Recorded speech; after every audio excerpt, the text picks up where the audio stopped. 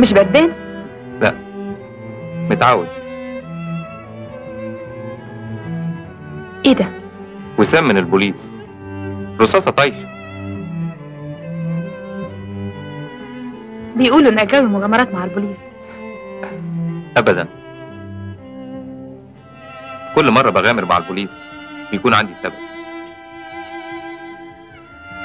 صدقيني يا منى مش مجرد حب في مغامرة. امبارح كانوا بيحكوا قدامي عن حكايتك في روما. شيء فظيع. ما هي دي اللي أخدت فيها الوسام؟ كان لازم أظهر في الصورة عشان أنقذ إنسان تاني. لو كنت سبته كان ضاع. تعرفي وأنا في المستشفى تمنيت فجأة لو كانت الرصاصة جت الناحية التانية تبقى في القلب. أيوه. يوميها حسيت برغبة شديدة في إني أخلص من حياتي. ليه؟ مش عارف إيه اللي خلاني يوميها أسأل نفسي لأول مرة. أنا مين؟ وإيه؟ ورايح فين؟ وليه؟ وما لقيتش جواب لأي سؤال منهم. الحاجة الوحيدة اللي خلتني أتمسك بالحياة ابني. أنت عندك ابن؟ أيوه. أمه ماتت وهو عنده سنة. أنا بالنسبة له كل شيء.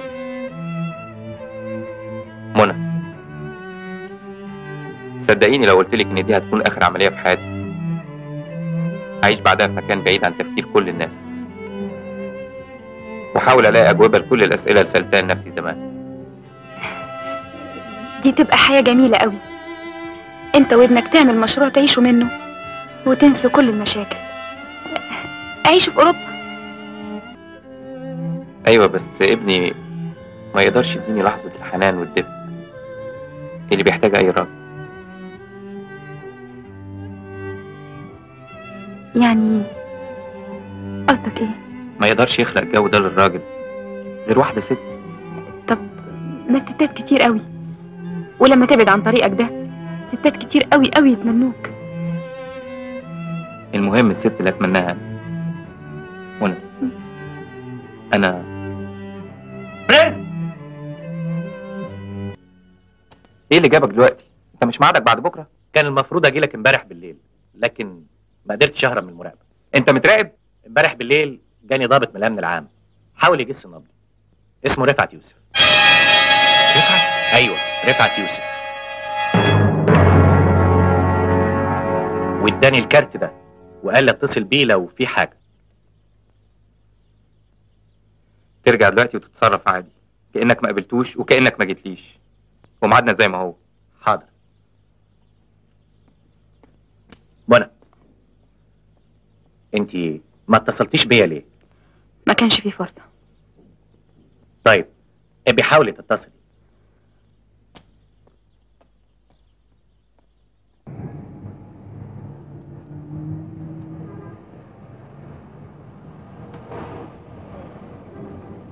كابتن رفعت.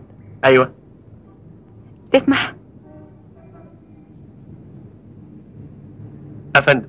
اركب. أي خدمة؟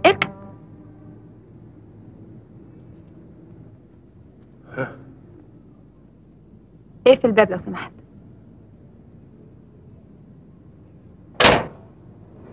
ممكن أعرف سيادتك مين؟ مش مهم في واحد نفسك تشوفه وهو كمان عايز يشوفك مين؟ هنروح له فين؟ مش بعيد اقفي هنا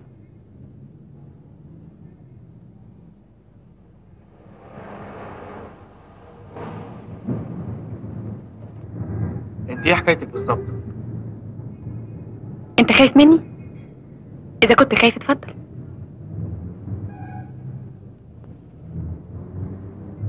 اطلعي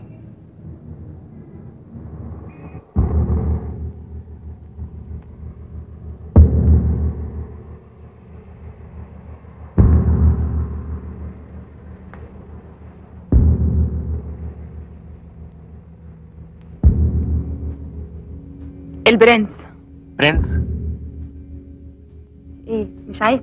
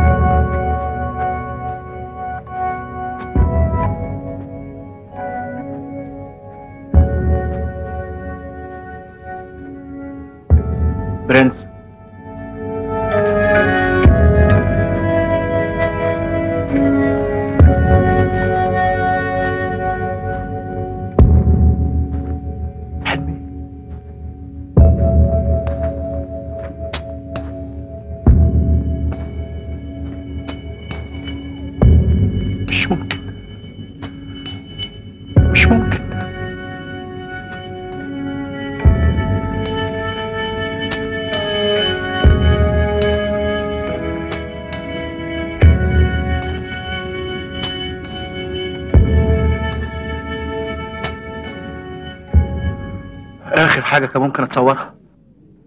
أنا حسيت إن إحنا لازم نتواجه بعد ما ابتديت تراقب رجالتي. أنت وفرت عليا وعلى نفسك مواجهة من نوع أصعب. بالعكس أنا جايبك عشان نتفق اتفاق. اتفاق؟ رفعت أنا ما عنديش شغلانة تانية غير دي. والمرة دي هتكون آخر عملية في حياتي هطلع منها بقرشين هعيش بيهم. ومش عايز حاجة تانية.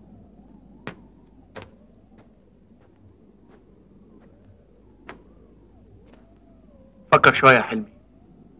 شوف انت بتحطنا ك... كإخوات في أي موقف. أنا فكرت كتير قبل ما أبعت لك. كان ممكن أعمل عملية من غير مواجهة وكان ممكن أستغلك وكنت هنجح. ما رضيتش. بعت لك عشان مش عايز نتقابل فجأة في لحظة. جايز ساعتها يكون مصير واحد فينا الموت. ولما انت عارف كده مصمم ليه؟ علشان ما فيش حد غيري يعملها. لكن انت في ضباط كتير غيرك ممكن يتولوا المهمة. قصدك أسيب المهمة؟ ما تنساش إننا إخوات. أنا قابلت المهمة دي قبل ما أعرف إن البرنس يبقى يبقى أنت أخويا. حلمي ارجع لعقلك شوية. فكر كويس. حتى لو سبت المهمة دي زي ما أنت عايز وامسكها واحد تاني. واجبي في شغلي يخليني ما أخبيش أي معلومات أعرفها عن أي مجرم. حتى لو كان أخويا. مش مهم. المهم ما تكونش أنت في طريقي ساعة الخطر. طب وليه انت تكون في وش الخطر؟ أنا مضطر. هي دي حياتي. ابتدي حياتك من جديد. هنا مفيش ضدك أي أحكام. عيش مع الناس والقانون. كلامك مع واحد زي دلوقتي ما منوش يا رفعت أي فايدة. أنا أنا مش عارف أقول لك إيه. أنت حاططني في ركن صعب. أنا شايفك قدامي أخويا اللي بحبه. في الوقت نفسه. أنت المجرم اللي بدور عليه. لو أنت مكاني تتصرف إزاي؟ أعتذر عن المهمة. ها هتعمل إيه يا رفعت هتسيب المهمة؟ قول لهم عني كل اللي عرفته. بس ما تكونش أنت قدامي. أنا كفيل بأي إنسان بأي قوة. أنت لأ. أنت أخويا. ها قلت إيه؟ ما أقدرش أوعدك بحاجة يا حلمي. ما أقدرش. يا خسارة. تحب أوصلك معايا؟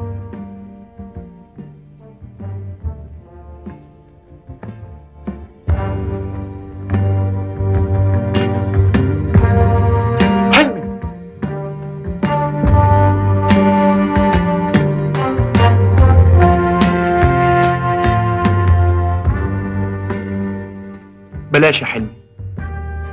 سيب العملية وسافر. إحنا لسه ملناش عندك حاجة. تقدر تسافر وانت مطمن.